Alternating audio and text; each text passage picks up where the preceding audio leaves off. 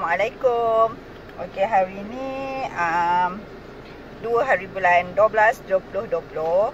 Okey, hari ni first day, first time kita nak jumpa Dr. KPJ Damansara.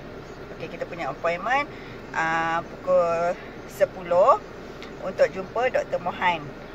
Okey, niat kita orang jumpa Dr. Mohan adalah untuk uh, buat IVF. Okey, untuk pengetahuan semua kita orang dah buat IUI sebelum ni di PPUITM tapi fail. Jadi kita cuba untuk teruskan lagi uh, yang yang sepatutnya kita buat dengan uh, program IVF okey nanti kita akan tunjuk uh, step-step uh, untuk IVF uh, untuk yang uh, niat dan bercadang untuk buat IVF kita akan uh, tunjuk cara-caranya nanti. Alright eh. Okay, stay tuned.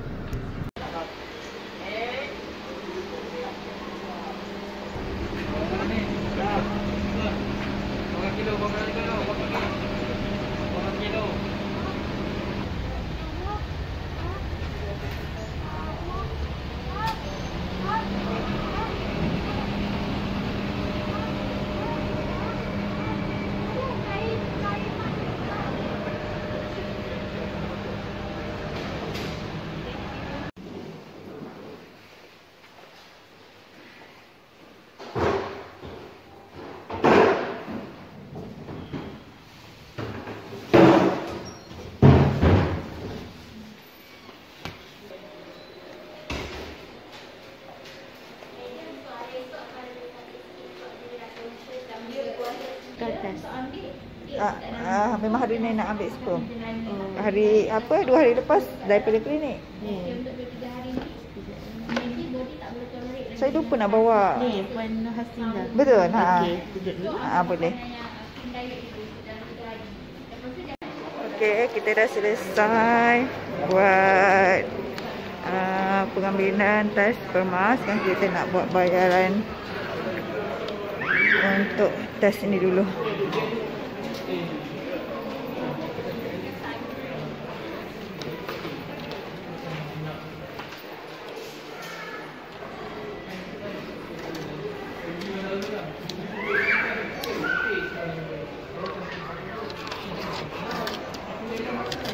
Okey, kita dah selesai. Alhamdulillah dah selesai untuk ambil uh, sperm analisis.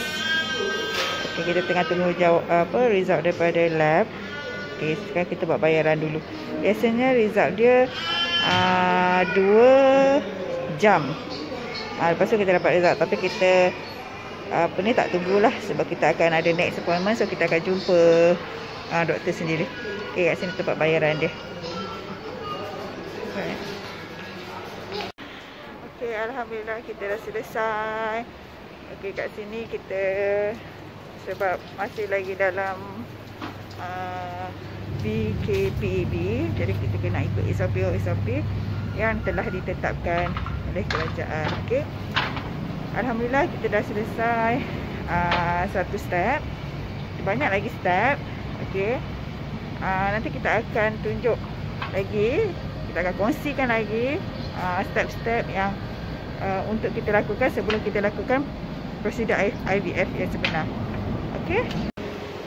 Uh, saya berharap uh, perkongsian saya ni dapat membantu para ibu-ibu dan ayah uh,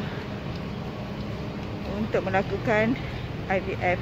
Uh, penantian kami cukup lama selama hampir 8 tahun uh, sangat memahami perasaan kalian. Um, harap kalian boleh uh, apa mencuba dan mengetahui proses IVF yang kita lakukan di KPJ Damansara.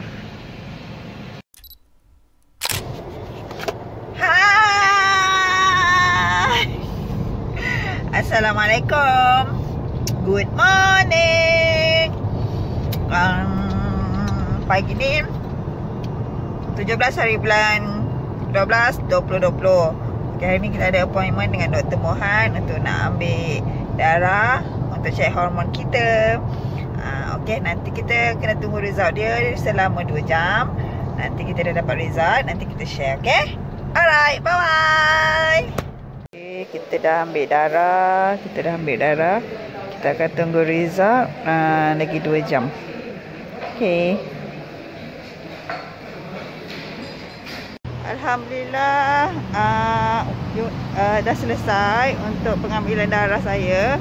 Uh, dah jumpa doktor dah. Okey, alhamdulillah result pun dah okey. Uh, untuk sperm test sperm suami pun uh, alhamdulillah dah okey. Saya punya hormon result pun alhamdulillah sesuai. Okey, tak ada masalah. Kami berdua tak ada masalah. Jadi kita boleh uh, uh, apa? Teruskan step yang seterusnya lah langkah yang seterusnya. Iaitu kita boleh buat terus ke uh, langkah IVF Okey, uh, kita kami plan uh, bulan depan uh, akan buat IVF uh, kita akan jumpa doktor lagi pada period yang kedua bulan hadapan. Harap-harap tak ada masalah lah. Semoga dipermudahkan. Minta doa kalian ya. Okey, nanti kita akan share lagi uh, apa jalan cerita uh, dan proses bagaimana proses ini dilakukan.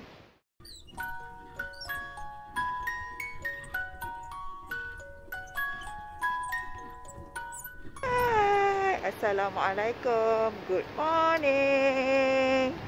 Okey, hari ini uh, okey kita dah kita jumpa datang lagi kat KPJ Damansara. Kita uh, hari ni adalah period saya yang kedua Hari kedua. Jadi memang kena jumpa doktor Untuk ambil ubat Dan buat penerangan. Okey.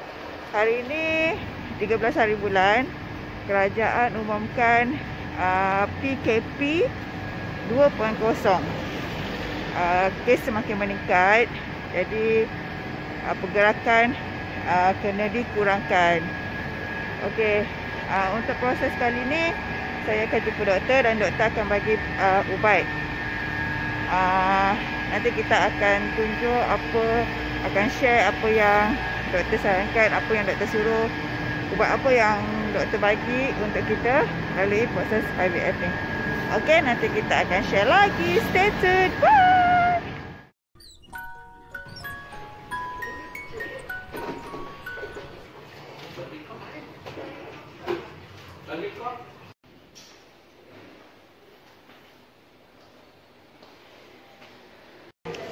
Okay, lagi satu nombor. Nombor kita 100254.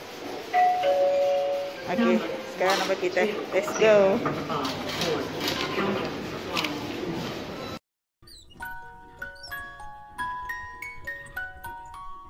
Alhamdulillah, kita dah selesai jumpa doktor. Doktor dah bagi penerangan apa yang perlu dibuat. Uh, doktor bagi jadual juga untuk kita ambil ni bekas ubat. Dalam dia ada ada ubat untuk 6 hari. Uh, kena cucuk sendiri dekat bahagian perut. Hmm, itulah. Semoga kami boleh lah sebab benda ni first time untuk kami cucuk-cucuk ni tak pernah buat. Kita tapi doktor dah ajar tadi kat dalam ni semua dia dah bagi ubat, cucuk, alkohol. Uh, lepas tu nanti apa benda tu ubat tu kena da, sentiasa dalam peti ais.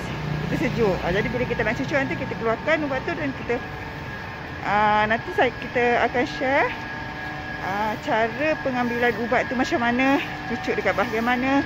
Nanti kita akan share. Okey? Minta doa kat kalian. Semoga semuanya berjalan dengan lancar. Ya minta doa sangat. Kami berharap berharap sangat. Uh, ikhtiar kali ni berjaya. Okey, stay tune. Bye. Assalamualaikum.